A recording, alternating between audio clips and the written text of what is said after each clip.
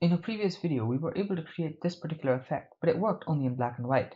In today's video, we're going to figure out a different method without using geometry nodes and using only the shader editor, a way to create the exact same effect such that you can use colored images as well. So without any further ado, let's get right into it. We're going to take the default scene and delete the default cube. We're going to add in a plane and every effect is going to happen on this particular plane. It's completely a shader editor based effect. We're going to take our camera, we're going to hit Alt G and Alt R to clear the rotation location. Then we're going to grab it on the Z axis and just pull it up. We can also hit 0 on our numpad to go into the camera view and then just grab it on the Z axis by hitting GZ again and just moving it back a little bit more.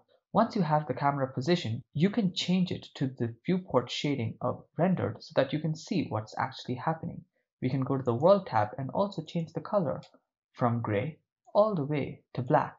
Once we have that, we can go ahead and start with the material. So let's take our cursor to the joint of these two windows down here, click and drag up to create a new window. We're going to change this window type by clicking here and changing it to the shader editor. Now we can go ahead and select our plane go to the materials and hit new. So first off, we're going to have to create the circles, which is going to be having the image texture. So to create the circles, we're going to use a gradient texture. So we can search for a gradient texture, and then let's just make sure that Node Wrangler is switched on by going to Edit, Preferences, search for Node Wrangler, and then check it. If it is checked, save preferences and close it. We can hit Control T to actually get the texture coordinates and mapping nodes. Now we can move this aside and hit Control Shift click the gradient texture to actually view what the mapping currently looks like.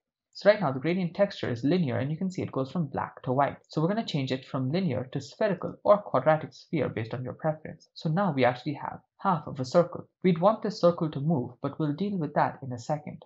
First, we want this to repeat multiple times with a single value that we can scale. So in order to do that, we're going to have to change the texture coordinate from generated to UV. So take UV and plug it into the vector. And now shift this to the side. Once we have it on UV, we need this to repeat. So in order to make something repeat, you can use the modulo function in the math node. So we can search for a separate x, y, z because we require this on only the x and y axes and not on the z axis. And you have to create the modulo for each axis separately. So let's place the separate xyz right over here. And now we have to combine the xyz as well. So let's search for a combine xyz and place that right here. And now we can connect the z to the z, the y to the y, and the x to the x so that we get exactly what it was before. But now for the x and y coordinates, we're going to add in the modulo function. So let's search for a math node and change the type from add to modulo right here and then place it in between the X channel and also change the value from 0.5 to 1. Similarly, let's just duplicate this by hitting Shift D and placing it in the Y channel. So now that you have it on the X and Y, when you actually scale the mapping node, you can see how we get the entire thing scaled as well. Now let's change the scale to 1 again and control the scale using a value. So let's search for a value node and just plug this into the scale. Let's make the 0 to a 1. So now as we increase the value, we can get more squares in our grid. Now that we have this, let's go ahead and actually make it such that this becomes a sphere and not just a quadrant. So in order to get the sphere, we're going to have to change the location and add 0.5 over here. So let's go ahead and search for a vector math node, plug that in, and just change all of these to 0.5. You see that it's become much smaller, so instead of plus 0.5, we should say minus 0.5. And with that, we get the gradients. So right now, the gradient doesn't look like a circle, and for that, we require some more control. So we can move everything to the side and then search for a color ramp. We can plug that in over here and then just change the values to get what we want. Now we want this to be a very sharp edge, so instead of linear, we'll search for constant. So it becomes a perfectly sharp edge, and then we can just bring this in to see what size we prefer. So I like this particular size. This is where we're going to keep it for now. So now that we have the grid that actually changes with the value, we can go ahead and plug this into the base color as well as the alpha. And since we're plugging this into the alpha such that all the black regions become see-through, we have to go to the shader node over here and then go down and change the blend mode from opaque to alpha clip. So now everything behind this will be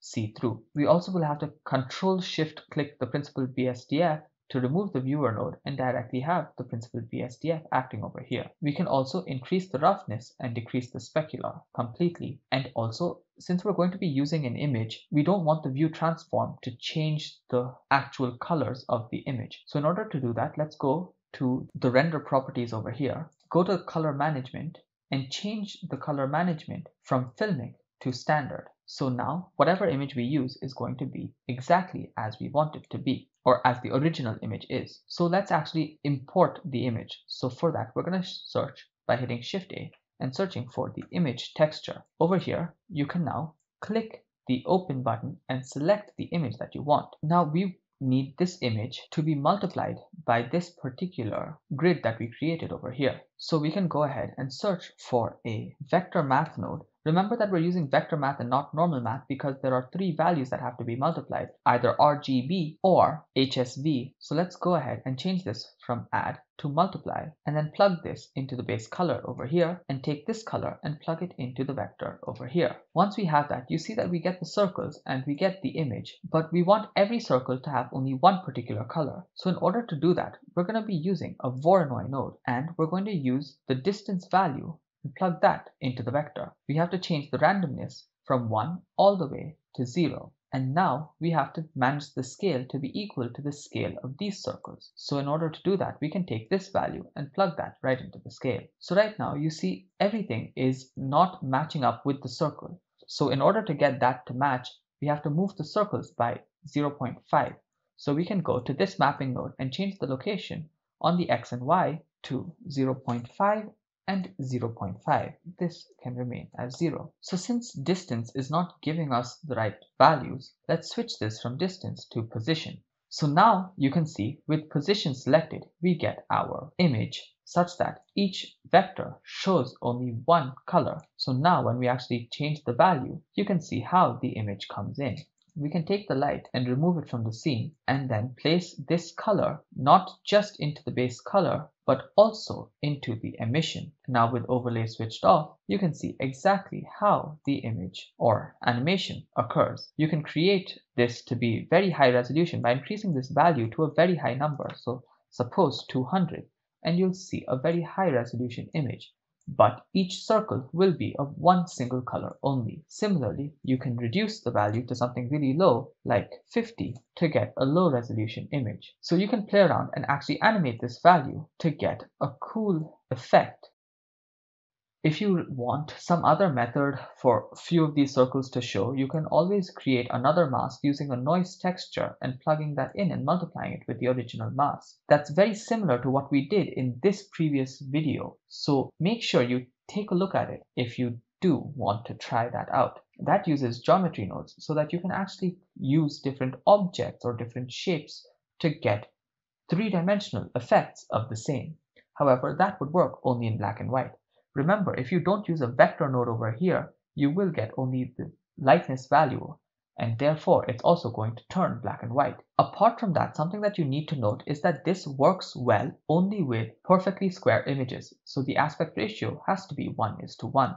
In case you're using a different aspect ratio image, use any image editing software or even MS Paint to convert it into a 1 is to 1 ratio before actually using it. I did try various methods to get any sized image to work, but for some reason I'm not able to do it and it's squashing the image in different ways. If somebody does know how to fix that, please comment it down below so that everybody can learn how to use this particular effect for other aspect ratioed images as well. Hopefully you learned something useful in this particular video and you can create really fun effects with both the black and white the effect taught in this video over here and this video right now. Also, this particular image is something that I drew on Krita, which is another free software. So if you want to watch me speed draw that image, you can go ahead and watch this video over here. So I'll see you in the next one. And until then, be sure to comment all your questions down below and always stay creative.